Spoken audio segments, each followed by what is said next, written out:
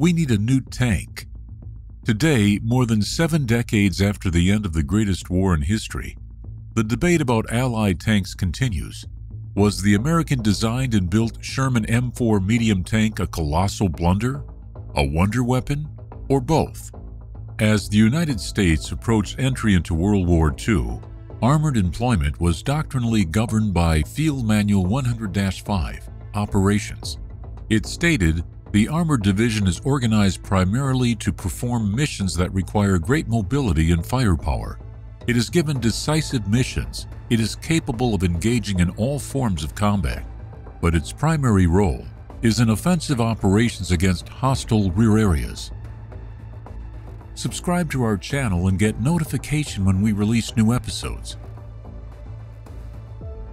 U.S. doctrine held that the most critical anti-tank work, stopping massed enemy tank attacks, was to be done primarily by towed and self-propelled anti-tank guns, operated by tank destroyer battalions, with friendly tanks used in support if possible.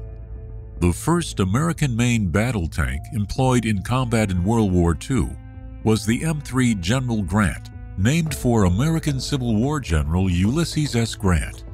The British used this tank in North Africa as early as 1941. The M3 was the result of a crisis atmosphere that prevailed immediately after the fall of France. It is likely that no tank in history ever went from design to production faster than the General Grant. Its major defect was the gun mount. The 75mm gun was carried in a sponson in the right front of the hull and could traverse only 15 degrees, a major disadvantage in tank battles. However, the M3 was only an interim measure. Its overall performance was not satisfactory, and the tank was withdrawn from combat in most theaters as soon as the M4 Sherman tank became available in larger numbers. The U.S. Army Ordnance Department designed the M4 medium tank as a replacement for the M3 medium tank. The prototype of the M4, named for Grant's subordinate William Tecumseh Sherman, debuted in 1941 and was accepted for production that October. Its designers consciously emphasized speed and mobility, limiting the thickness of the armor and the size of the main gun, thereby compromising on firepower and survivability. Production The first production of the Sherman took place at the Lima Locomotive Works. In 1940, the British established a tank mission in Washington under the leadership of Michael Dewar to persuade the Americans to build British tanks. It was later deemed wiser to stick to American designs. At first, the tanks had to be paid for, but in March 1941, President Roosevelt's Lend-Lease Act came into force. Equipment was loaned to Britain in exchange for American use of British bases, so the first production Sherman was given to the U.S. Army for evaluation, and the second tank of the British order went to London. With a crew of five, the Sherman weighed over 66,000 pounds, was 19 feet 4 inches long, 8 feet 7 inches wide, and 9 feet high. It had a range of 100 miles, armor .59 to 2.99 inches thick, and a single 75 millimeter turret gun, plus one coaxial 7.52 millimeter machine gun, and a 50 caliber machine gun on the turret. The power plant consisted of twin General Motors diesel engines that developed 500 horsepower. Its maximum road speed was 30 miles per hour, and it could ford a stream 3 feet deep, mount a vertical obstacle 2 feet high, or cross a trench 7 feet 5 inches wide. The American industrial complex was not affected by enemy aerial bombing or submarine warfare as was Japan, Germany, and to a lesser degree, Great Britain. An enormous amount of steel for tank production was diverted to building warships, Steel used in naval construction amounted to the equivalent of about 67,000 tanks. Consequently, only about 53,500 tanks were produced during 1942 and 1943. The Army had seven main sub-designations for M4 variants during production.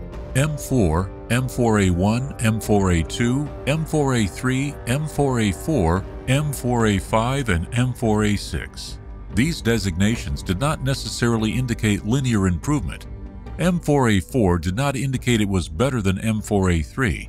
These subtypes indicated standardized production variations often manufactured concurrently at different locations. The subtypes differed mainly in engines, though the M4A1 differed from the other variants by its fully cast upper hull with a distinctive rounded appearance. British nomenclature for Shermans was by marked numbers for the different hulls, with letters for differences in armament and suspension. A for a vehicle with the 76mm gun, B for the 105mm howitzer, C for the 17-pounder gun, and Y for any vehicle equipped with HVSS. For example, the British-operated M4A1-76 was known as Sherman IIA. Armament By 1943, the Sherman was getting past its prime. The dual-purpose 75mm gun was outclassed by comparable German weapons and was not powerful enough for the thick armor in later vehicles. As the Battle of Normandy developed, it became obvious that the Sherman was seriously outgunned and inadequately armored compared to the German Panther and Tiger tanks. The range of the 88mm gun mounted in the latter, for example, was on average four times greater than the Sherman's 75mm. To compound the problem, the Sherman's high-profile silhouette made it a more visible target.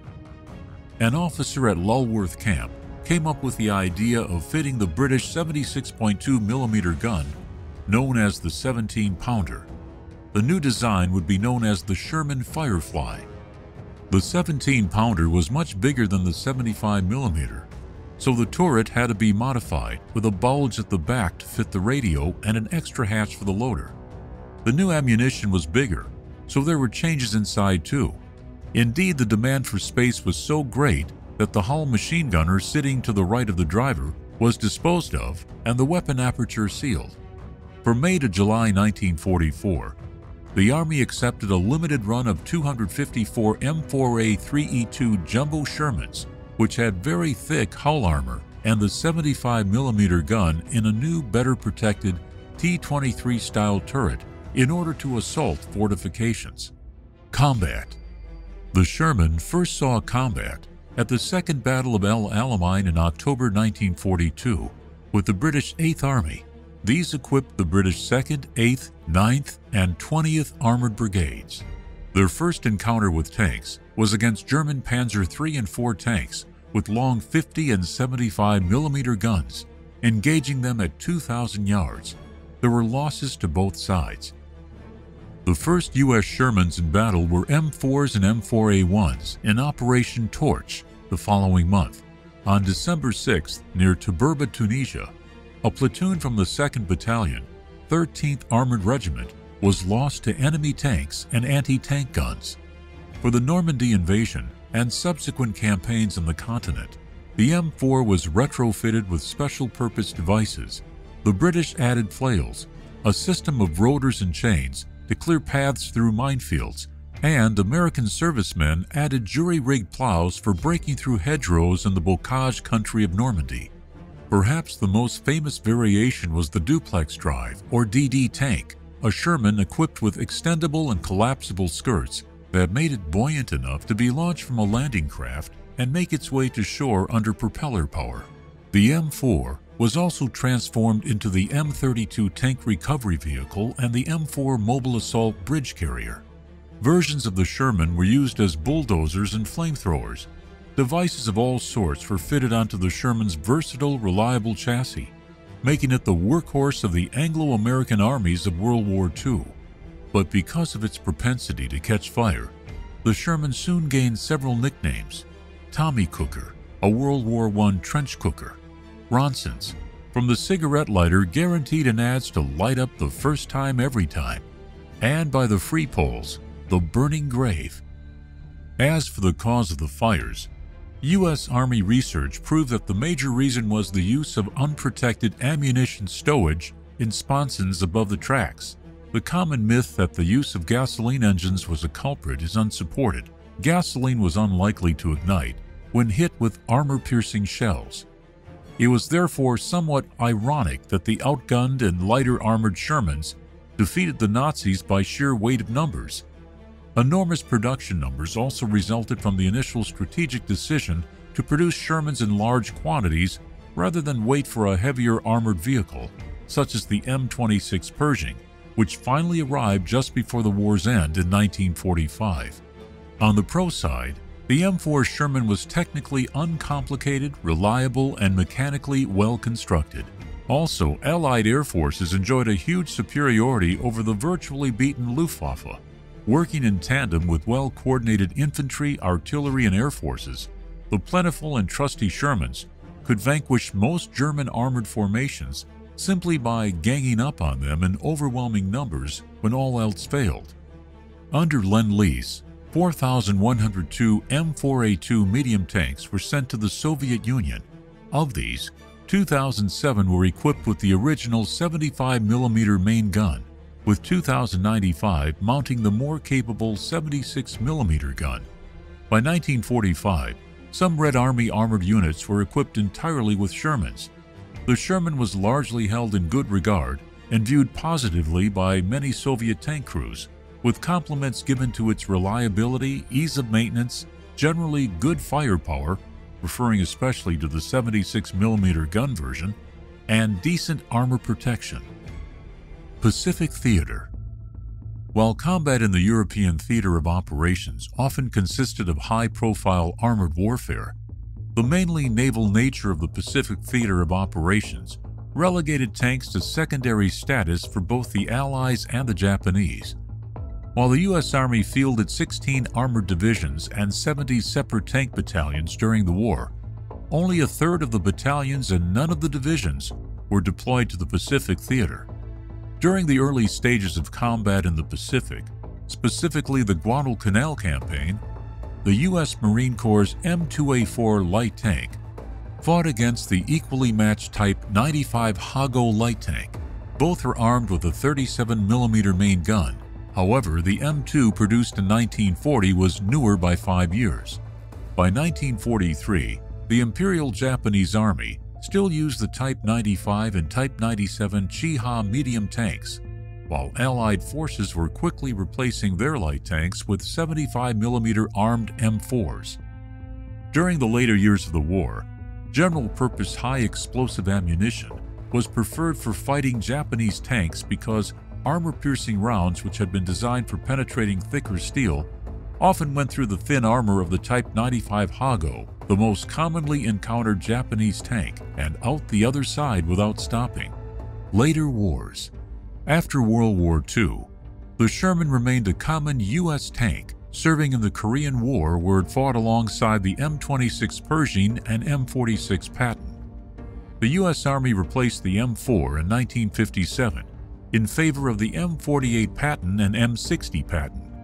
The U.S. continued to transfer Shermans to its allies, which contributed to widespread foreign use.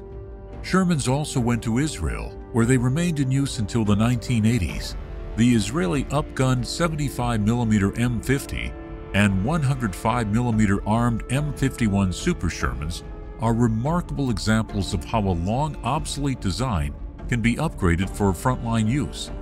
They saw combat in the 1967 Six-Day War, fighting Soviet World War II-era armor, such as the T-34, and also in the 1973 Yom Kippur War proving effective even against newer, heavier Soviet tanks like the T-54 and T-55.